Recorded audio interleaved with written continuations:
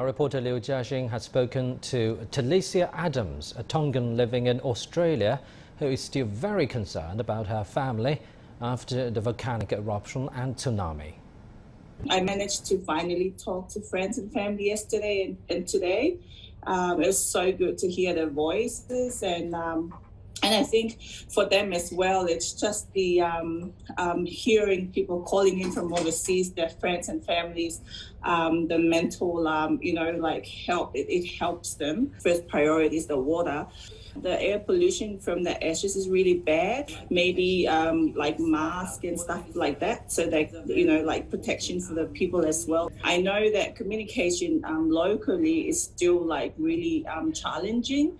They are still trying to connect with the other islands from Ha'apai and Vava'u, because I think the line is like all busy with everyone trying to call in at the same time. So maybe that's what happened. Most of the islands that were um, damaged, um, the people that lives there have been evacuated to, to the main island.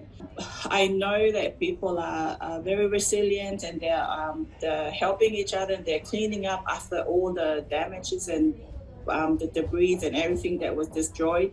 Uh, for the long run, it's just the it's the rebuilding. A survivor of the Tonga tsunami is sharing his experience of being swept to sea and making his way to another island. Lisala Folau is a retired carpenter from the island of Atata. The 57-year-old suffers from motion disability.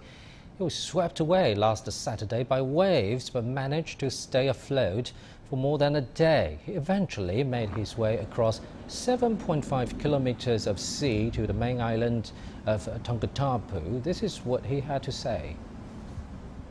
The scariest part of the ordeal for me was when the waves took me from land into the sea.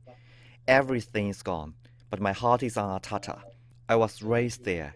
My parents are buried there, and I will go back there one day.